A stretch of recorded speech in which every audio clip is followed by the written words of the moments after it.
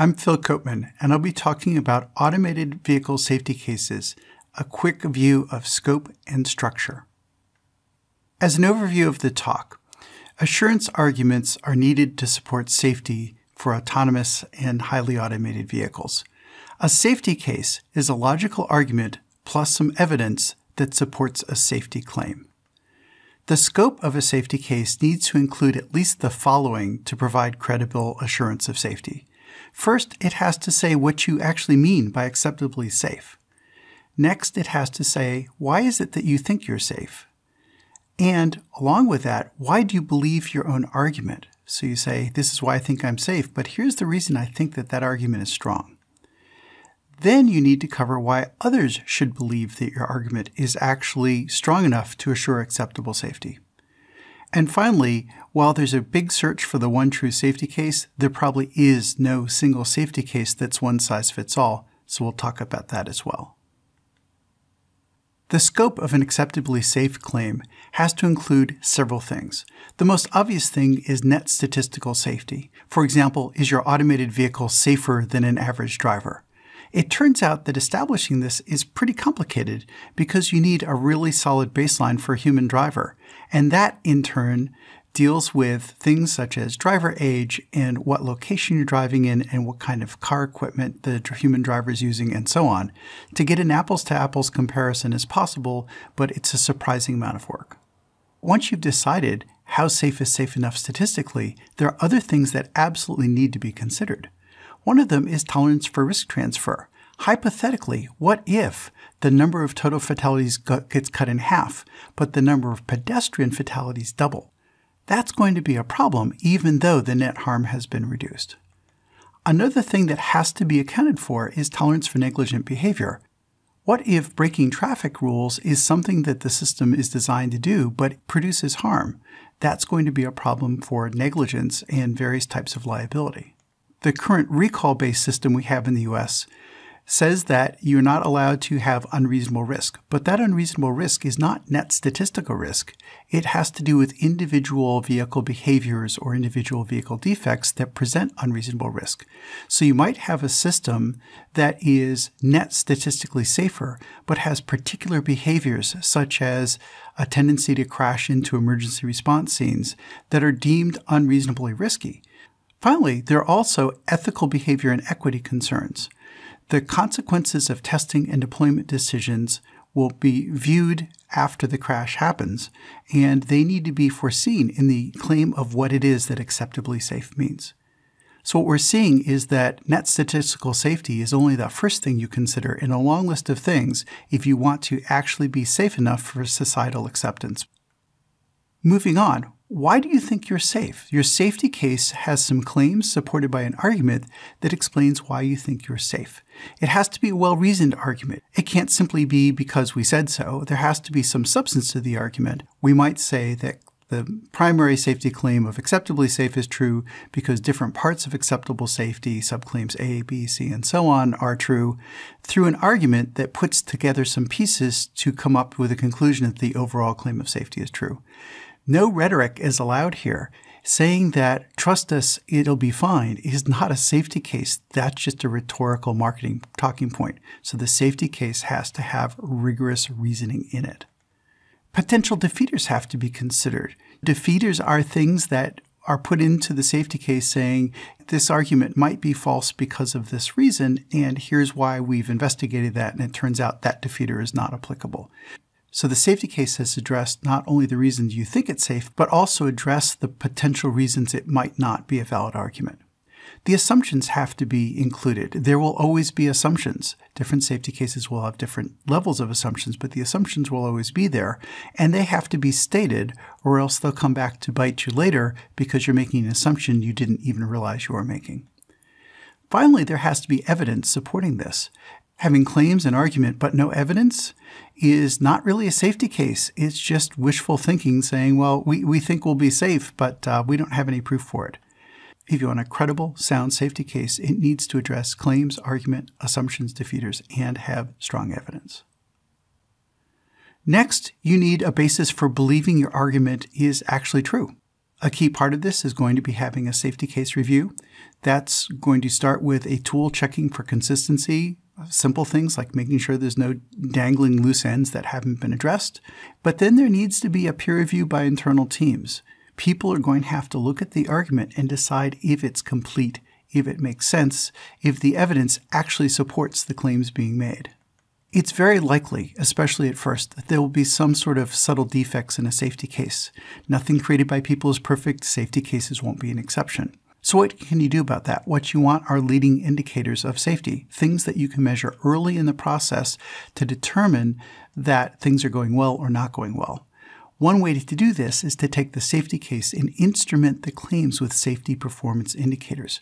For example, in this picture, we have an argument that a vehicle is safe because it avoids crashes, and that's in part because it detects objects, and that's in part because the sensors are effective, and that's in part because the sensors are kept clean.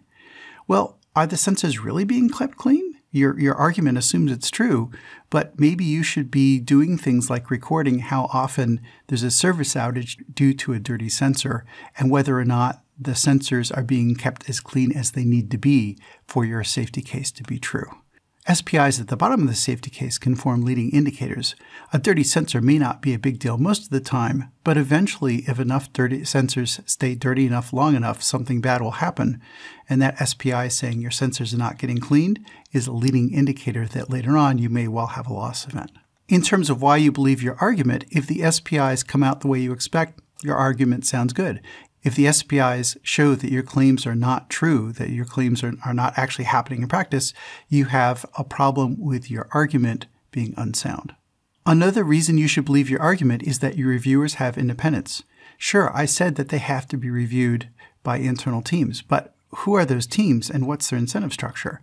If those teams get fired by saying no and get a bonus by saying, yes, the safety case good, looks good, why should you believe that they're going to give you honest criticism if there's a problem in the safety case? The reviewers need to be independent. Safety happens with independence. And so you have to ask the question at least what happens to reviewers who say no? And go from there to make sure your reviews are not only technically competent, but also have independent reviewers who are incentivized to find problems instead of gloss over them. A next part of having a strong safety case is asking why should we, why should others believe that your argument is true? This boils down to the credibility of the safety case. And to judge this, if you're not part of the design team, you need to at least know what exactly are the claims of safety. When you said acceptably safe, what did you mean by that? And then expose some of the safety case so at least at the high level, the arguments become plain so that people can say, yes, it makes sense that that argument will support the, the claim made of acceptable safety. There also needs to be some measure of integrity of the independent review process. Okay, so you said you had independent reviews. Why should we believe that those reviewers were incentivized to find problems instead of gloss them over? Another thing that should be done is public SPIs. How do they trace to your safety case? So companies put out numbers. They say, here's our metrics, here's this metric, here's that metric, here's the other.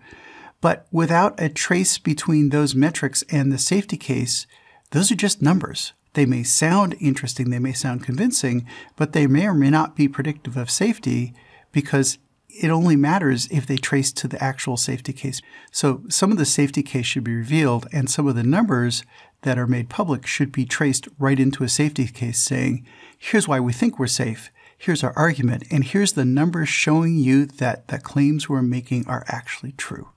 One way to also build credibility is conformance to UL 4600. This is an international standard for safety cases for autonomous vehicles. And in particular, it emphasizes on the ability to assess the safety case. That's what UL 4600 is all about. So if you're conforming to UL 4600 and you have an independent assessment for conformance, that provides some very powerful information to external stakeholders that you're taking safety seriously and that you've done your homework, that your safety case is thorough, complete, supported by evidence. One of the big risks for safety in, in highly automated vehicles is the unknown unknowns, the did you think of that? And UL 4600 emphasizes that very heavily with extensive examples and lists of things to make sure you consider so the safety case is less likely to have gaps. The last major point is lots of folks want there to be the one true safety case. Well, just tell us how to write a safety case and we'll do what you said. Uh, you know, where's my example? And the problem is, at least at this point in the maturation of the technology, there is no one true safety case that will work for everyone. It's just not out there. Now, why might that be? Well, one is the claims of safety are going to vary by operational concept. So acceptable safety and the claim structure will probably vary depending on what you're trying to build. A sidewalk robot versus a low speed passenger transport versus a highway speed heavy truck are going to have very different requirements for safety, for architectural approaches, and so on. Their operational concepts will be so different. Some things about the safety case may be similar, but is every reason to believe their safety cases will look quite different. The argument strategies will also differ. The operational environment, coupled with the operational concept, will be different, of course, but also the role of remote support. Different companies will have different roles for remote support. Some companies have remote drivers ready to jump in with the steering wheel. Other companies go very far the other way, having remote operators that are on call, but the vehicle has to make the call. Depending on how you incorporate remote support, you can expect to have very different safety arguments based on the allocation of safety responsibilities or not to remote operators. The system architecture and development strategy will likely be different. The depth and assumption scope will vary. Some companies will have very shallow safety cases with a lot of the argument delegated to more structured other non-safety case documents, and other, other companies will go way down into the weeds of the safety case. No one really knows yet which level of detail is best, so it's premature to constrain to one particular safety case approach. The notation will also vary. It would be no surprise if we find out effective safety cases have a graphical type notation near the top, but then have a textual non-graphical notation near the bottom. And it might well be that practical safety cases are more of a data structure approach that has on-demand rendering of particular aspects and points of view of a graphical notation it could turn out a lot of ways. So again, it is premature to require any particular notation for safety cases. The evidentiary needs are going to vary by the argument strategy as well. I would say that SPI instrumentation allows you to make broader assumptions because you're not stuck with the assumptions forever. You can say, I'm going to make an aggressive assumption, but I'm going to monitor whether that assumption is true by using SPIs to make sure the claims remain valid during testing, pilot deployment, and full-scale production, for example. One thing I've seen in practice is that the act of creating the safety case has significant value. So you should not think of a safety case as a piece of paper that's created at the end to show everyone, look how safe we are. Rather, the majority of the value for safety cases will come by creating them as the system is being designed to force folks to think about, okay, what do we mean by safety and how are we sure we're getting it? Because if you design a system that's inherently unsafe, making a pretty safety case picture at the end won't stop the mishaps. Wrapping up, a safety case is a logical argument supported by evidence that gives you a particular safety claim. If you want a credible safety case that actually gets you safety, you need to address at least what exactly do you mean by acceptably safe? Why is it you think you're safe? That's the argument supported by evidence. And why do you believe your argument to make sure the safety case is robust and correct and sound? And why should others believe your argument? And that has to do with credibility, independence, and making sure you're following a robust standard to avoid having left things out by accident. The structure of the safety case is much less about here's the one picture everyone should use, and much more about the safety case picture you create should reflect the needs and particular design approach of your particular system. And it turns out the process of creating the safety case as you do development is going to provide the majority of the value. The pretty picture is the thing that comes out the end, but it's not the objective. Getting safety for your system is what you should really be caring about here.